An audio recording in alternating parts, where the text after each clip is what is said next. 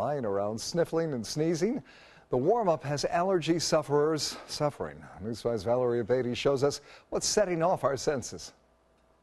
Have you ever stopped to think what pollen actually looks like? Well, here it is, and it's what's making so many of you who suffer from allergies miserable right now.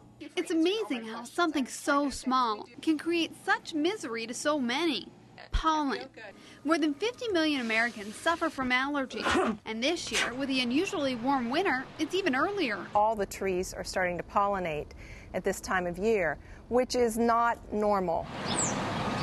To give you an idea, Monday's pollen count was calculated at 1,046. We normally see a pollen count of anywhere from 250 to 300.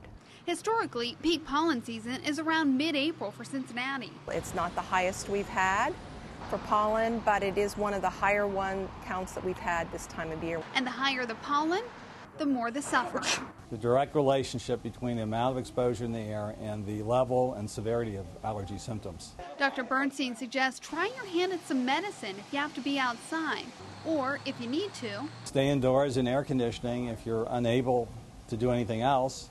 There are treatments available for people with real severe uh, pollen allergies, sometimes allergy injections. To make things worse, this is just the start of allergy season. Trees pollinate first in the season. Then uh, in May, we'll start to see grass pollens, grass and some weeds. As for the pollen forecast, experts tell me there's no way of knowing if we're in peak season right now. They won't know that until the season's actually over.